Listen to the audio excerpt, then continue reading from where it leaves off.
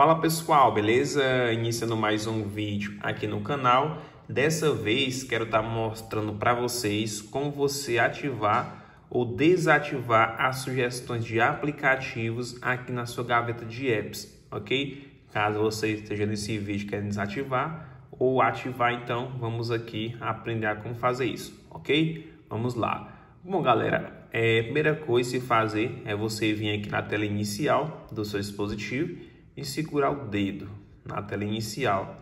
E aí você vai vir nessa opção aqui, ó, configurações da tela inicial. Você clica aqui e agora nessa tela que aparece, basta você pegar e vir aqui, ó, estilo de tela inicial. Opa, cliquei muito rápido. Mas você vem aqui, ó, estilo de tela inicial. Você clica nessa opção. Pronto, ele vai aparecer essa telinha aqui. E aí, galera, é, o seu é essa primeira aqui, ó, a gaveta de aplicativos aqui é 100. No seu caso, gaveta de aplicativo, então vai ser essa de cima aqui. Aí você vem na engrenagem de configurações. Você dá um clique. É, e aqui você vai ter algumas opções.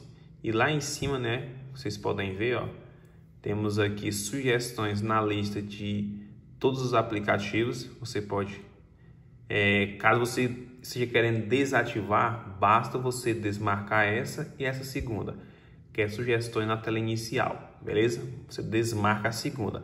Agora, caso você esteja querendo ativar, aí você ativa essas duas, beleza? Ó, eu desativei e agora vocês vão ver ó, que é, os apps recentes aqui na minha gaveta de aplicativos, né, que mostra os aplicativos que eu estou usando no dia a dia, desapareceu.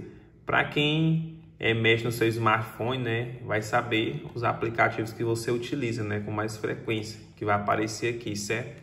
E aí muitas pessoas não gostam, por isso desativa.